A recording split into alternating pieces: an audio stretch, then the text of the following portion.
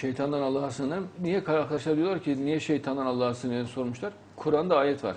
Çünkü şeytandan Kur'an okunurken şeytandan Allah'a sığının diyor Allah ayette. Şimdi birçok insan şeytandan Allah'a sığınmayı unutacağı için ben hatırlatıyorum ki şeytandan Allah'a sığınır, sığınır deyin. Ee, sure başlarında Rahman ve Rahim olan Allah'ın adıyla denir. O şekilde başlanır. Evet. Sure başlarında. Evet. Ama ayet okunurken yani normal akışının devam edersin.